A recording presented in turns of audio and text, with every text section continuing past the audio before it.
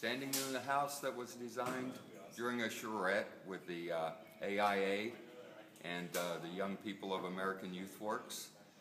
Uh, it's gone from two dimension to three dimension at this point. Most of our windows here on the north side. Uh, and so, real open plan. Everybody loves it. Uh, thank you, American Institute for Architects, for taking the time to uh, sit down with our young people and come up with a plan that works for this subdivision of green homes that are affordable.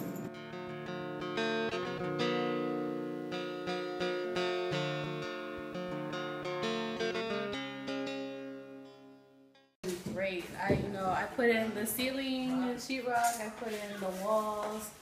Uh, we framed the doors.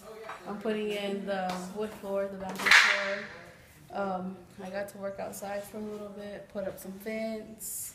It's been a wonderful experience here, so I like it a lot. Got to paint everything here on the outside. I've probably already touched or fixed or something.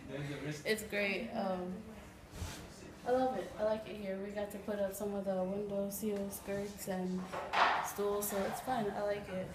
A lot of memories here from like when I first started with American Youth Works till now. So I hope I get to finish out here. I bet. My yeah, experience, it's um, it's in, been there for a while too, uh, about a year and a half, and I put in the floors, doors, windows, she- sheetrock, did something in the attic at one point, forgot. Yeah, that's a big attic. It is. It's kind of like hot we started. too. Got a lot of experience out of this. Uh, I came here last year, and now I'm going to ACC for my construction management. So uh, I'm, I really enjoy what I'm doing, giving back to the community and helping everybody out. I um, I like everything about building a house. I like putting in the drywall, the flooring, tile. I'm I just like to work. I'm more of a hands-on person than sitting at a desk. So Oh, yeah. I kind of find my I kind of found my job right here. Great. Thank you. no problem.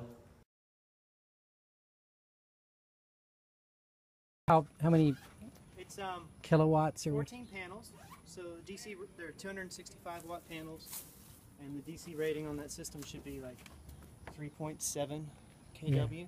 And how much of the house will that run? Uh, it's going to produce around $40 a month, somewhere in that ballpark. So Wow. depending on what the homeowner's energy habits are like, Yeah. um, that that solar is going to be a finite amount every.